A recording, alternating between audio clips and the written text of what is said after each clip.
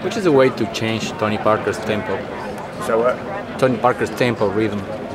Which is a way to change it?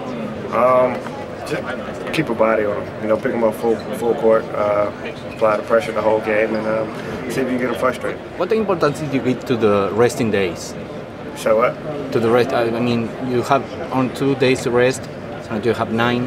Uh, I think it's good that we only got two days of rest. You know, from the first series uh, versus the Bucks, we had uh, about a week off, and after Chicago, we had another week off. So it's good to get just keep going and get keep staying in the flow of things.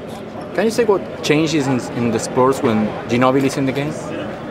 Uh, more of an offensive threat. You know, it allows Tony Parker to get off the ball more, uh, roam around the court more freely.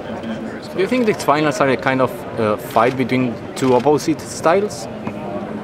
Uh, I mean, every, not, not, you know, every team has their own unique style.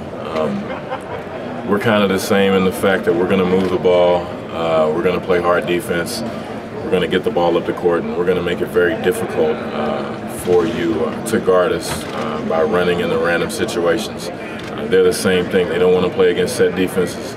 We don't either. So, you know, that's going to be one of the games inside of the game to um, make the other team work against our half-court defense. You do that, we feel that we're at an advantage, and I'm, feel, I'm sure they feel the same way.